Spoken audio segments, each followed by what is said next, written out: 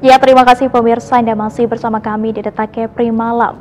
Mudik telah berakhir, kini kita beralih pada evaluasi proses mudik dan kinerja Pelabuhan ASDP Telaga Punggur. Sebagai salah satu jalur utama untuk pemudik menuju berbagai daerah di dalam maupun luar Kepri, Pelabuhan Telaga Punggur memegang peranan penting dalam menyediakan pelayanan yang efisien dan aman selama musim mudik. Untuk membahas lebih jauh apa saja yang terjadi dan evaluasi selama mudik dan arus balik di ASDP Telaga Punggur, kita telah tersambung dengan Bapak Nana Sutis Krisna selaku General Manager ASDP Telaga Punggur. Baik, selamat malam Bapak. Selamat malam Mbak Ya, suara saya terdengar dengan baik ya Pak? Ya, Mbak. Ya Pak, minal aidin wal faizin dulu ini Pak. Selamat, uh, mohon maaf lahir dan batin ya Pak. Dengan ucapan yang sama, minal aidin wal faizin, mohon maaf lahir batin. Pimpinan PT SDP segenap karyawan mengucapkan selamat Hari Raya Idul Fitri. Mohon maaf, mohon maaf lahir dan batin. Baik, terima kasih Bapak uh, sebelumnya atas uh, untuk bisa meluangkan waktunya untuk berbincang sejenak bersama kami di Data Kepri Malam. Ya Pak, selama mudik, apakah terjadi peningkatan atau penurunan jumlah penumpang yang menggunakan jasa ASDP Telaga Punggur ini sendiri Pak? Baik, terima kasih. Melihat dari trennya memang uh, untuk tahun 2024 ini yang sangat melihat peningkatannya tinggi itu memang yang uh, lintasan Punggur Kuala dan Punggur Pakning. Itu yang kelihatan meningkat sekali. Kalau untuk di Punggur Tanjung Uban dibandingkan dengan tahun yang lalu masih hampir rata ya. Itu uh, memang melihat evaluasi. Itu Mbak. Oke, lalu apakah terdapat peningkatan kapasitas layanan atau penambahan armada kapal Pak untuk mengakomodasi kebutuhan penumpang selama mudik? Baik, terima kasih. Uh, memang kita sepakat dengan BPTD ada satu peningkatan pelayanan, penambahan trip yang sebelumnya kita rata-rata tepat pukul 20.00 kita habis. Namun di angkutan lebaran ini kita sepakat dengan BPTD sebagai uh, pemerintah yang memberikan satu izin surat persetujuan belayar dan juga koordinasi dengan pihak dinas perhubungan juga instansi terkait bahwa kita pelayanan kita tingkatkan. Kenapa kita koordinasi dengan pihak yang lain sepertinya kepolisian, TNI, biaya cukai dan juga karantina karena itu salah satunya bagian untuk dilepas untuk pemeriksaan dan untuk pengamanannya juga gitu Mbak. Ya, lalu bagaimana efektivitas sistem antrian dan pengaturan lalu lintas di sekitar pelabuhan selama periode mudik ini Pak? Baik, terima kasih. Uh, memang kita pengalaman tahun-tahun yang lalu sebelumnya menyampaikan bahwa masyarakat keluhan di pelayanan terkait ini kendaraan yang lintasan Telaga Punggur Pola Tungkal dan Telaga Punggur Paning yang sebelumnya masih guso. Uh, karena memang di PT SDP cabang Batam ini masih menggunakan cashless guso. Namun untuk menghindari kemacetan atau kekisruhan atau ke, yang ketidaknyamanan pengguna jasa kita menggunakan hotline ya. Jadi kita memberikan pembelian tiketnya setelah hotline, pembe, uh, membeli uh, maksudnya tiket uh, booking antrian melalui hotline. Situ terlihat tidak ada lagi penumpukan padat di area pelabuhan. Yang datang tuh yang sudah pasti menyeberang dan sudah pasti memiliki tiket. Dan untuk menghindari itu juga kita bekerja sama dengan BP Batam dan Kepala Dinas minta tempat buffer zone. Buffer zone adalah salah satu tempat area parkir untuk menampung menampung kendaraan yang mau nyebrang baik ke Telaga Punggur, Telaga, Punggur Uban, Telaga Punggur Pakning, Telaga Punggur Kuatungkal, dan juga Dabu, bahkan Balai Karimun itu setelah padat kita alihkan ke buffer zone yang miliknya BP Batam. Dan itu sudah uh, terkoordinasi dengan baik sehingga tidak ada lagi penumpukan uh, kendaraan di area di bahu jalan dan raya.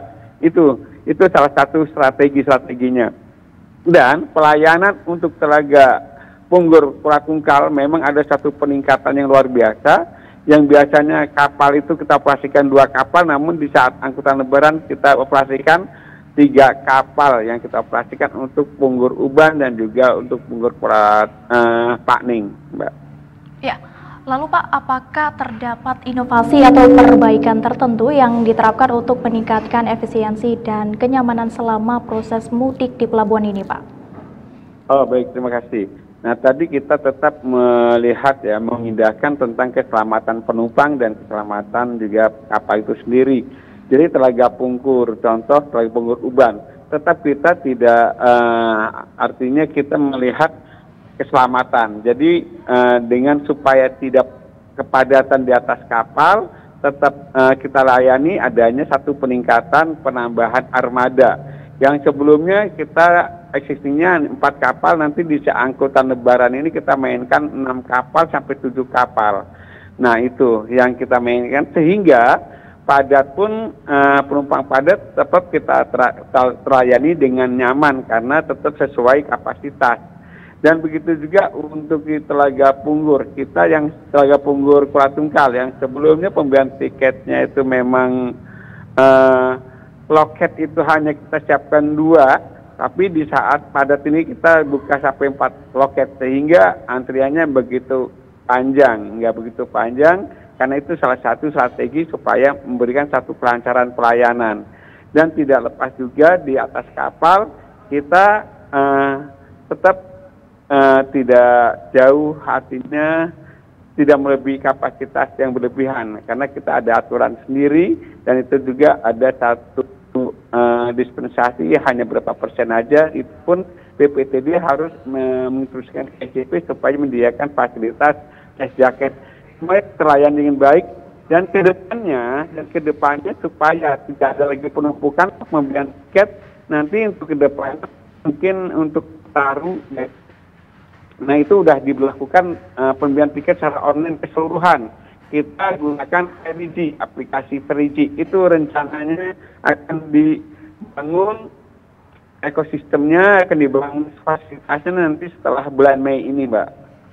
Iya Pak, mungkin kita juga boleh tahu bagaimana respon atau umpan balik dari pengguna jasa terhadap pengalaman mereka selama proses mudik di pelabuhan ini Pak. Ya tentunya pasti ada namanya banyak sebanyaknya pengguna jasa ada yang merasa puas, ada yang tidak itu kita pun juga tidak alergi dalam hal itu. Tapi kita dari PTSDP akan memberikan satu pembenahan, penyempurnaan dan juga memberikan satu layanan yang prima.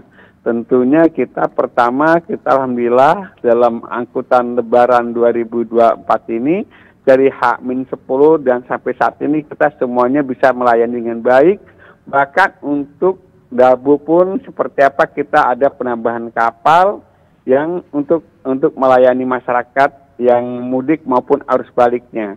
Alhamdulillah semua ini kita bisa melayani dengan baik, Mbak. Ya Pak. Lalu yang menjadi pertanyaan ini apa saja kendala utama yang dihadapi dalam pengaturan dan pelaksanaan proses mudik di pelabuhan ini, Pak? Ya kendalanya memang kita akui kita pertama dalam penjualan tiketnya masih gosong, masih sehingga itu masih ma, masih terdapat antrian panjang. Nah itu salah satu yang bahkan evaluasi dari pihak BTSDP. Kenapa kita sudah langsung uh, membuat info, apa informasi kantor pusat segera minta dibuatkan satu sistem pembuatan semua kendaraan maupun pejalan kaki semuanya digenukkan lagu Ferigi tiket online itu salah satunya supaya tidak ada terkendala lagi jadi yang datang ke PT SDP ini tenaga punggur itu supaya yang benar-benar sudah memiliki tiket. Tidak ada lagi ada antrian uh, untuk pembelian tiket untuk pejalan kaki. Itu saat ini dan itu sudah direspon dengan baik di kantor pusat dan itu juga memang satu agenda yang memang kita persiapkan, Mbak. Ya, selanjutnya Pak, eh, saat arus mudik kemarin terdapat keluhan mengenai keterlambatan keberangkatan hingga berjam-jam ya nih Pak. Jadi bagaimana mengatasi ini ke depannya? Baik, terima kasih. Kemarin itu emang ada salah satu ada salah satu apa strategi. Ternyata memang diperkirakan memang kapal itu kita perbantukan ke Telaga Bunggur dan Uban. Namun ternyata ada satu arus bawah kuat sehingga kapal itu yang diprediksinya hanya tepat waktu pemberangkatannya, kedatangannya, namun karena cuaca tiba-tiba arus bawah kuat, angin darat juga kuat itu yang mengganggu sehingga ada keterlambatan. Namun semua itu saya dari sebagai pimpinan sini koordinasi dengan pihak BPTD ke depannya mengantisipasi hal itu berkoordinasi dengan BBMKG supaya tidak ada lagi uh, strategi itu uh, apa di luar dugaan itu itu yang memang sudah kita rencanakan ke depannya tetap tidak lepas harus uh, koordinasinya jangan sampai terputus dengan BMKG itu rencananya mbak baik pak uh, sebagai pertanyaan penutup ini pak uh, bagaimana evaluasi pelabuhan ke depannya terhadap proses mudik tahun ini di ASDP Telaga Punggur. Jadi apa yang akan dilakukan ke depannya Pak? Baik, terima kasih Mbak. Sepertinya kita di Tanjung Uban itu kan baru satu dermaga ya. Sedangkan di Punggur sudah dua dermaga.